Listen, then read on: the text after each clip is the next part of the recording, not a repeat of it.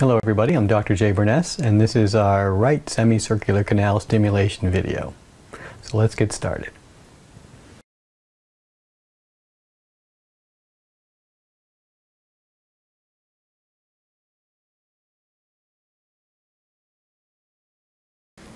Okay, so let's start with the right horizontal canal stimulations. So what you're going to do is put your right thumb out in front of you at arm's length distance. Your eyes are going to stay fixed on your thumb and it's just a very quick movement directly to the right like this while the eyes stay fixed on the thumb. And then slowly back to neutral. So one more time, quick to the right, eyes are staying on the thumb. Slow return to neutral.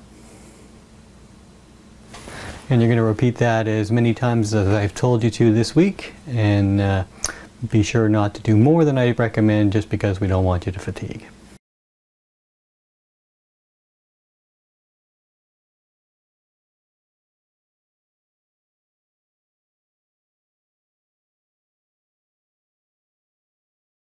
All right, next we're going to do the right anterior canal. Now this canal runs in this direction, so what I like to do with my patients is uh, to make the process a little bit easier.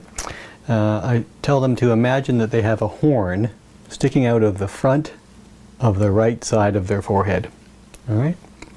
And the object of the movement is to try and point that horn at your thumb while the eyes are maintaining their gaze on the thumb. So here's how we'll start. Thumbs out straight in front of you again. You're looking at the thumb, your eyes are going to stay on the thumb, and we're going to point the horn towards the thumb quickly and then slowly return back to neutral. Again, once more, quick and slow return back to neutral. Again, you're going to do as many repetitions as I've recommended for the week. Uh, make sure you don't do more than that. We don't want you to fatigue.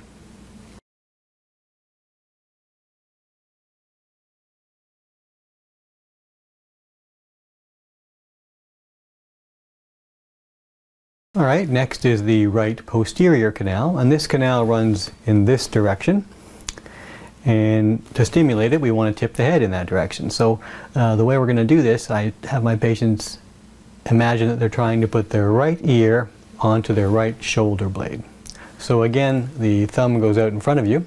You're fixing your gaze on the thumb, and you're going to move quickly back to the right ear toward the shoulder blade, and then very slowly again back to neutral. One more time, quick back to the right,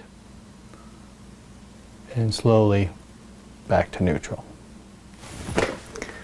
So that's right posterior canal. Now, from time to time, uh, we want to make these things a little bit more complicated. We want to uh, not only increase repetitions, but have the, the movements themselves become more complicated. So uh, I may ask you to do combinations of these movements. So we'll show you a couple of combinations. This first one will do a right horizontal canal and a right anterior canal combined. So again, thumb goes out in front. Your eyes are fixed on the thumb. We'll go right horizontal and slow back to neutral. And then right anterior and slow back to neutral. So that would be one combined repetition. Again, right horizontal Slow back to neutral. Right anterior. Slow back to neutral.